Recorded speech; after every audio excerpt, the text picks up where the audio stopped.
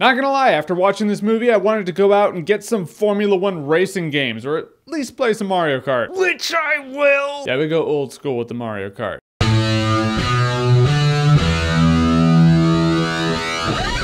Rush. So Rush is a movie directed by Ron Howard about a rivalry in Formula One racing between two drivers named Niki Lauda and James Hunt. You know me, I love a good rivalry. Ron Howard's a good director. Should be a good movie. Turns out, It was a good movie. I really like the rivalry between these two guys, but they're so contrasted. They're so different. James Hunt is just one of those, you live it up, you know, he's here for the fun of it. Tomorrow you might die, and he's completely willing to die. So it's like, hey, have fun. He's the id. He is the walking id. Then you have the Austrian Niki Lauda. He's like, no, you gotta think smart, take emotion out of it, see it all as math. It makes you a safe driver, it makes you a better driver, and I will beat you. These two are like the Mozart and Salieri of the racetrack. Although Mozart was better than Salieri, and these two are pretty evenly matched in their own ways and their own passions. It's just a movie about two guys who want to be great. They want to leave their mark on the earth. And in doing so, life will give them that little bonus of beating the other guy. You would almost think, hey, these two would probably have a good time going out and getting a beer together, just shooting the shit. Fact is, that's not going to happen because just the sight of the other's face infuriates them. Another thing this movie does well is these two are even in your mind's eye. Neither one is the villain. Just two guys, two different perspectives, two different ways of going about one goal. So in that, sometimes you're like, ah, James Hunt, he's got it right. You know, like screw that Niki Lauda guy. James Hunt's the man. And other times you're like, Niki Lauda is a badass. You know, James Hunt,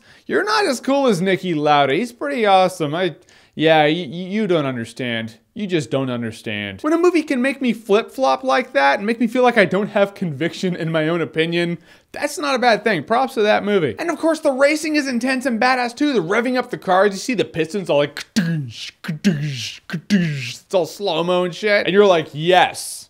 It has gotten real now. Not much I didn't like about the movie. It's funny because I'm not a Formula One guy. It's not like I sit down on the most boring ass day of the week, Sunday, turn on racing and be like, oh, thank God, something good is on today. Not how I am. I'm like, oh, that's boring. Are there wipeouts happening?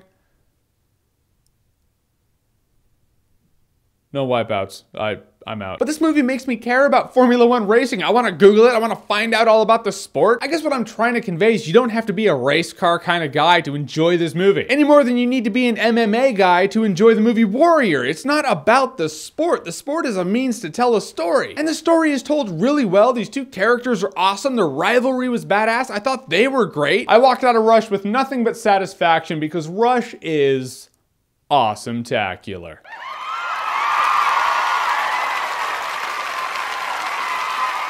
Rush is just, it's a sexy movie, if I could say it like that. I don't know if it was all the attractive ass people on screen, or the affection, or the hot chicks, or Olivia Wilde, just the speed, the rivalry, the tension. For some odd reason, I was just watching this movie with half a stack the entire time, and I was like, this.